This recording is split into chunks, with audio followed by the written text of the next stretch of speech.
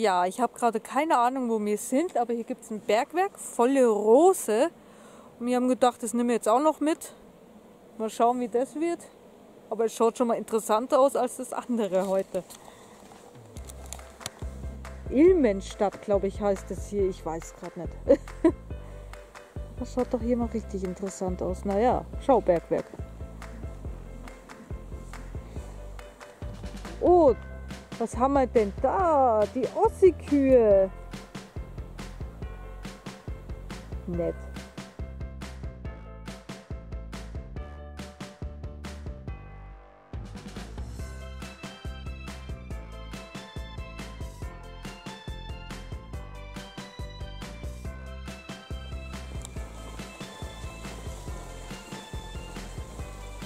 So.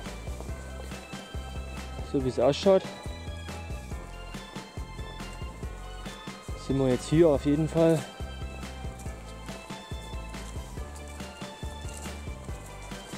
Am Eingang vom Schaubergwerk.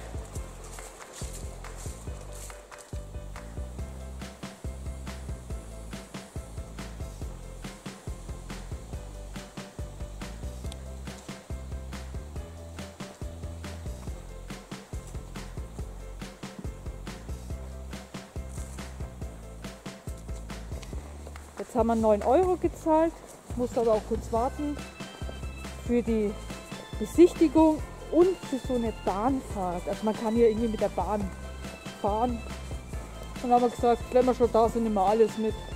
Jetzt schauen wir uns noch kurz dieses, diese kleine Ausstellung dort an. Und dann gehen wir wieder zurück.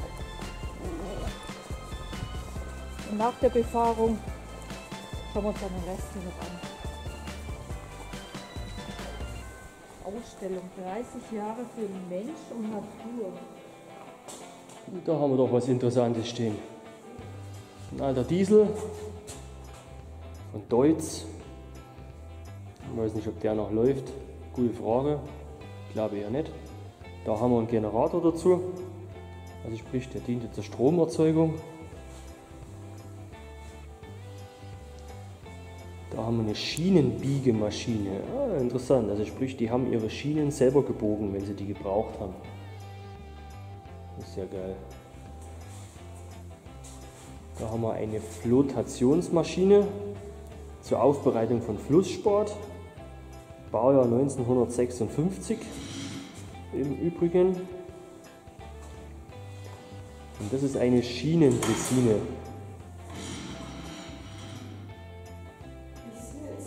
Genau.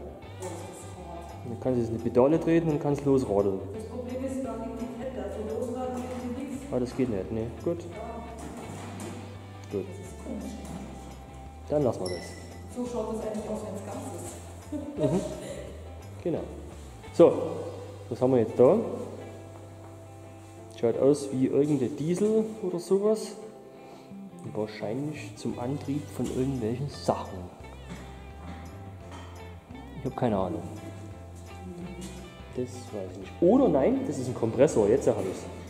Da ist der Antrieb, die Riemenscheibe. Und das war ein zweistufiger Kompressor gewesen. Jetzt haben wir es. Gut. Da haben wir eine kleine Dampfmaschine, so wie das ausschaut. Und die Schwungräder. Das ist ein Backenbrecher. Das ist sehr interessant. Praktisch da via Elektromotor über Riemen angetrieben worden. Und da drin, das sind die Backen. Backe 1, Backe 2. Dann hat sich das da gedreht und das sind die Backen so hin und her gegangen.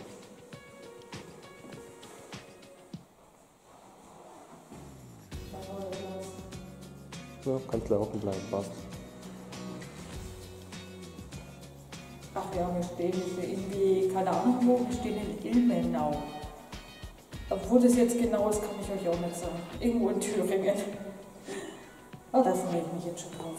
Volle Rose, nicht volle Hose. Gehen wir mal vor zum Eingang.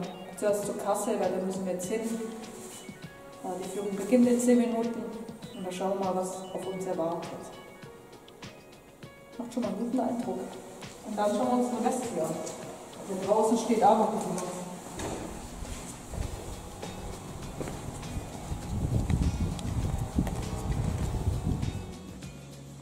Hier haben wir noch so einen uralten Bagger.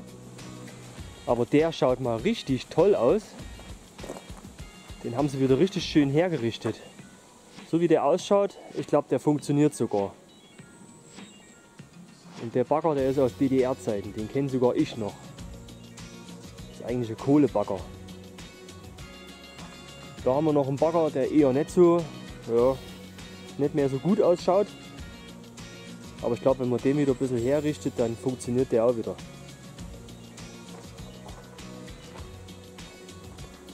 Da haben wir noch ein paar Lokomotiven stehen.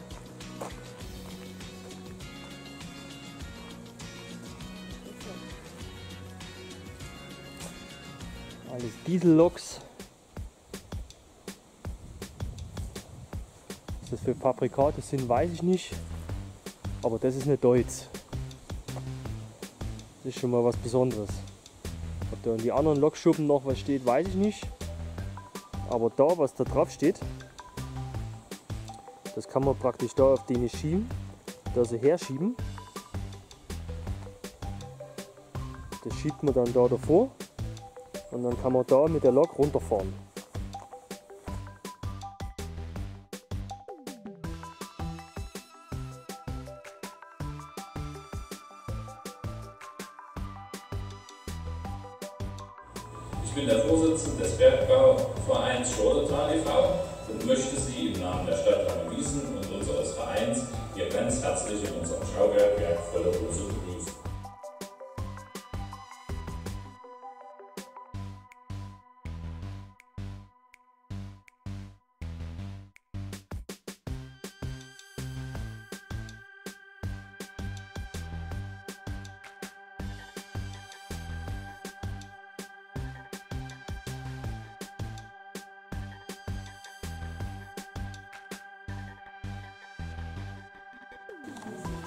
So, das ist jetzt unser Taxi, wir dann weiterfahren. Meine Frau hockt schon drauf und ich komme jetzt auch gleich. So, bleiben wir da hocken, oder? Nein, ich wurde gerade von der Wand angegriffen. Gut. Das Ding hat geknirscht. Achtung, jetzt ruppelt's gleich. Und was?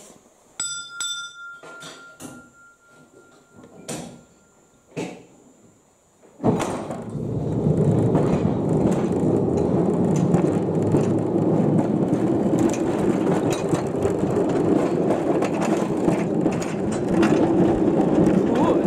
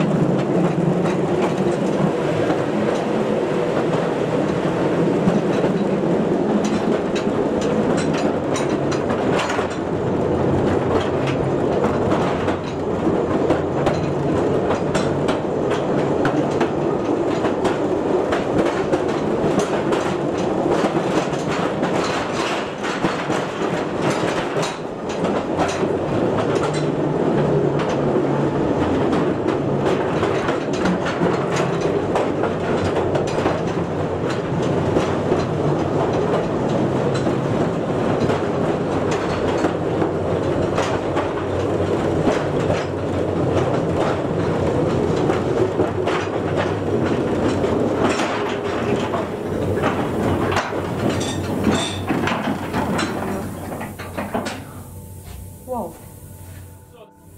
In die Richtung hier geht es noch ein Stückchen weiter, so ungefähr nach 4,3 Kilometern erreicht man die Zentralanlage im Schubsetal bei Gern, die wir im Film ja gesehen haben und von da geht es nochmal dreieinhalb Kilometer weiter. Wollen wir jetzt nicht hin, weil wir müssten schwimmen und tauchen, steht alles unter Wasser. Okay. Ja, seit 2005 gehört es dann auch noch der Phoenix Flut und Schwersport GmbH Gern. Die haben die Lagerstätte übernommen, denn zu der Zeit war der Preis wieder 450 Euro für eine Tonne angestiegen auf dem Weltmarkt.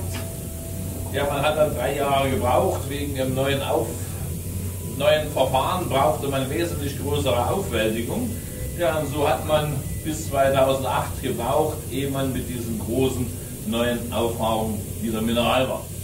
Abgebaut haben unsere Urgroßeltern mal, ja, indem sie es von unten nach oben aus dieser Spalte herausgenommen. Mache ich das so, muss ich immer auffüllen, was ich leer gemacht habe, sonst kann ich mich da nicht draufstellen.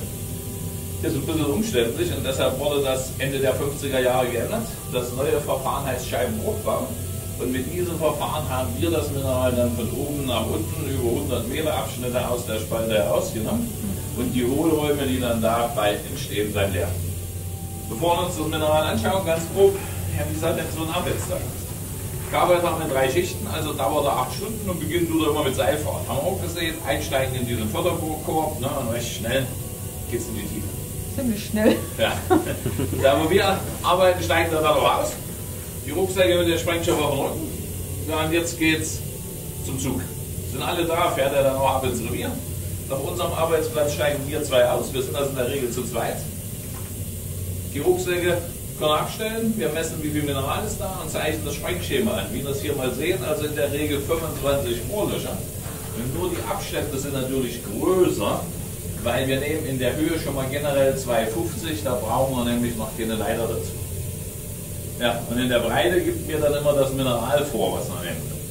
Und von der Breite hängt jetzt ab, wie tief muss ich die Löcher bohren. Und das liegt dann zwischen 1,60 Meter und 2,50 Meter. Zwei Mann, zwei dieser kräftigen Bohrmaschinen hier. Ja, und dann schaffen wir die 25 Löcher in einer guten Stunde, maximal anderthalb. Und damit wir ein kleines Gefühl kriegen, wie das ist, mit so einem kräftigen Gerät zu bohren, tue ich es mal. Ja, nicht erschrecken, wer fühlige Ohren hat, die ruhig mal zuhalten, es wird ordentlich laut.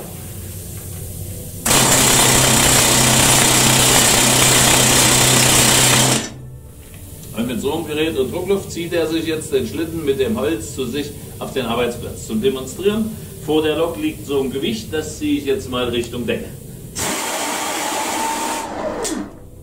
Abfangen, ausladen und dann geht der leere Schlitten wieder zu meinem Kollegen. Ja, das müssen wir wiederholen, bis wir alles haben. Ja, damit wir mal das Mineral sehen, steigen wir auch noch ab und machen mit mir noch einen kleinen Spaziergang. Ja. So, dann bitte mir mal folgen.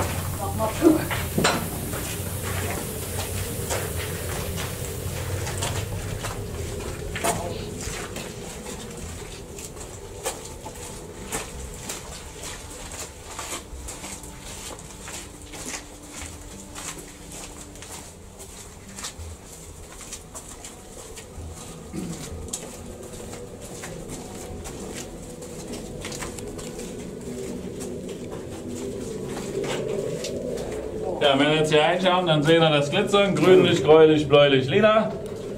Das, was da so glitzert, das ist das Mineralflussspat, was wir gerne haben möchten. Das ist zu wenig, aber schön zu sehen. Wäre es aber wesentlich mehr, wäre es eben auch weg. So hat sich's nicht gelohnt. Schaut aber toll aus. So, wenn wir uns angeschaut haben, machen wir noch ein kleines Stückchen weiter. Achtung.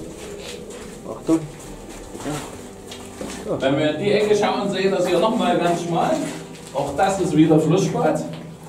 Beides sind schmale Spältchen, die eins gemeinsam haben.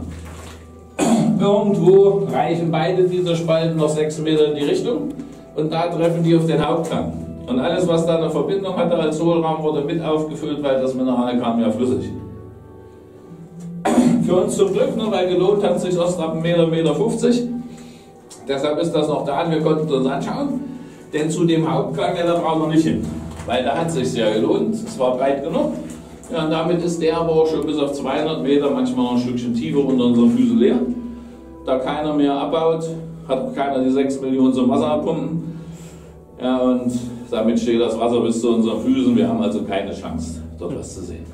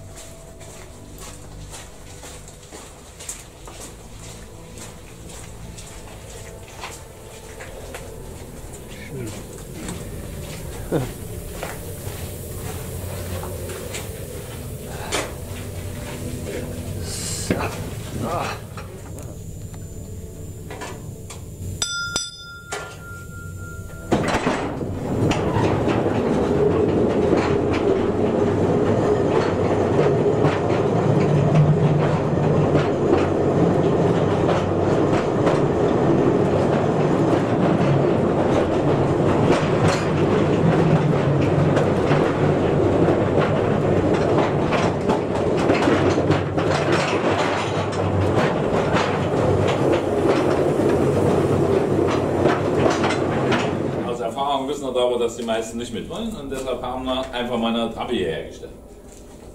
Wir müssen also, wenn dann diese Mineral sind, die Decke schon mal abstürzen, das fällt uns gleich auf Kopf. Machen wir mit Holz. Was die Decke trägt, nennt der Berg mal eine Kappe. Wo sie aufliegt, sind die beiden Stämme und dieses Gebilde bezeichnen wir dann als ein Türstück. Messlet, die sind nämlich schön stabil. Das Messen ist kinderleicht. Ja, es geht auch noch schnell. Wir müssen hier nur die eine Messlatte in dieses Loch hineinstellen. Da soll ja der Stempel mal hin. Dann legen wir die zweite in die erste und so wie der später stehen soll, schieben wir die bis an unsere Kappe anstößt. Wir sind fertig. Aber wir kriegen auch noch ein technisches Problem. Ja, das Wasser läuft ja doch an den Wänden überall runter. Hängen meine Lampen. Bald gibt es nur noch Kurzschlüsse und dann stehen wir noch im Dunkeln. Oh Gott. Trotzdem will man das Mineral haben. Weil die Maschinen, die gehen einwandfrei, die gehen mit Druckluft. Bloß sehen müsste ich halt schon was, wenn ich dann arbeiten soll. Ne? Ja, und die einzige Energiequelle, die noch funktioniert, ist die Druckluft. Also machen wir dann auch noch mit der unser Licht. Und wir sehen, das ist technisch gar kein Problem. Hier ist mein Schlauch. Wir blasen also einfach die Luft durch den Kopf der Lampe. In diese Speziallampe ist dort Flügelrad eingebaut. Und beim Durchblasen der Luft treiben das an, dann wird das immer schneller und dreht sich dann wie so ein Propeller. Ja, und hier oben drin, das kennt man nur Fahrrad. Das ist nichts weiter wie ein Dynamo. Ein bisschen größer, macht 10, 110 Volt. Das reicht uns dann. Wir haben wieder ordentlich Licht und können auch wieder arbeiten. Interessant.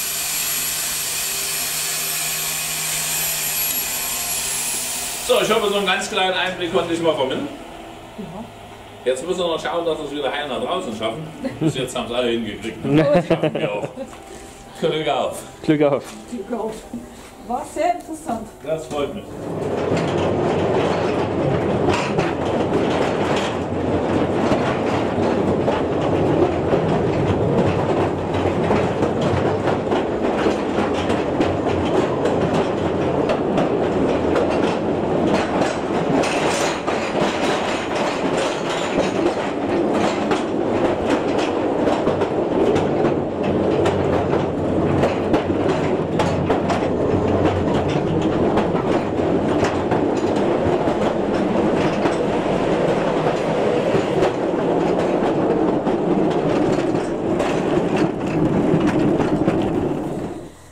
Jetzt 360 Meter ins Bergwerk reingefahren. Und jetzt machen wir noch eine Rundtour mit der Bahn. Oh, ich freue mich. Hocken wir uns da hin? Ich weiß nicht, in welche Richtung wir fahren, aber es steht so. Also ich schätze in die Richtung fahren wir. Ich würde sagen, wir hocken uns da hin. Mein Kissen. Oh, ich freue mich. Das hat jetzt Spaß gemacht.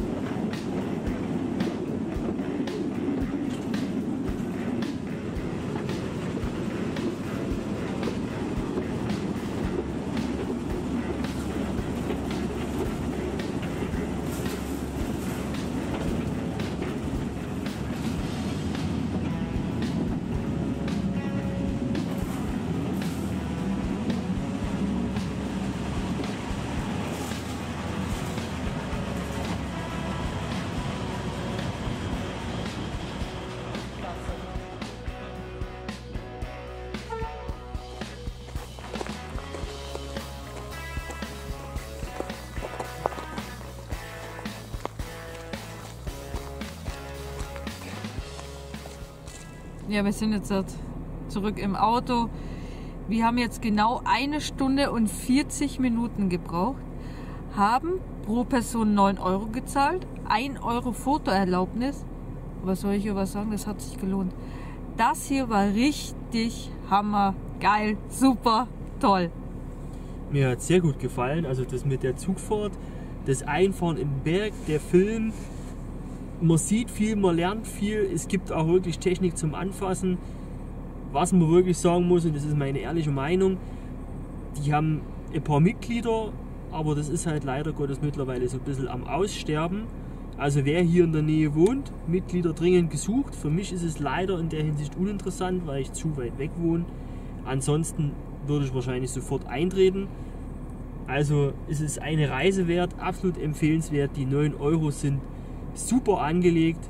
Man muss sich das wirklich mal anschauen, man muss das erlebt haben. Das ist absolut genial. Das stimmt. Ja, eineinhalb Stunden, also eine Stunde und 40 Minuten genauer gesagt, haben wir jetzt mit denen komplett eine Führung gehabt. Eine halbe Stunde haben wir uns noch draußen umgeschaut, weil da gibt es auch so viel zu entdecken. Mann, das hat richtig sich gelohnt, hierher zu fahren. Wow, es hat Spaß gemacht. Mir ein kleines Andenken mitgenommen. Eine Eule, die hat mir irgendwie gefallen. Ach super, aus welchem Material war die nochmal? Pyrit. Pyrit, aber super. Also es lohnt sich hierher zu fahren. Und keine Schulkinder. Und eine Gaststätte gibt es auch, die schaut von innen auch schon toll aus. Man kann nicht mehr sagen, außer das muss man mitnehmen. Hat Spaß gemacht. Also dann, ciao. Ciao, servus.